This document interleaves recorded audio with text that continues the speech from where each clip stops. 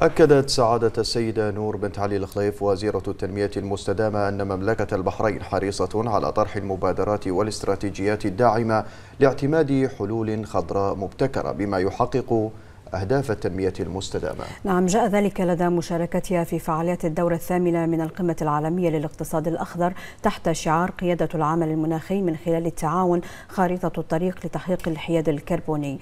وقالت الخليف أن البحرين قطعت شوطا كبيرا على صعيد تنفيذ أهداف التنمية المستدامة من بينها ما تندرج ضمن محاور الطاقة والتمويل والأمن الغذائي والشباب.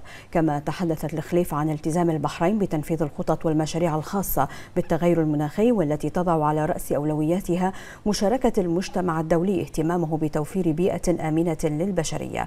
أضافت أن مملكة البحرين كثفت الجهود نحو الانتقال إلى نظام أكثر كفاءة للطاقة المتجددة وذلك عبر إطلاقها الخطة الوطنية لكفاءة الطاقة والخطة الوطنية للطاقة المتجددة.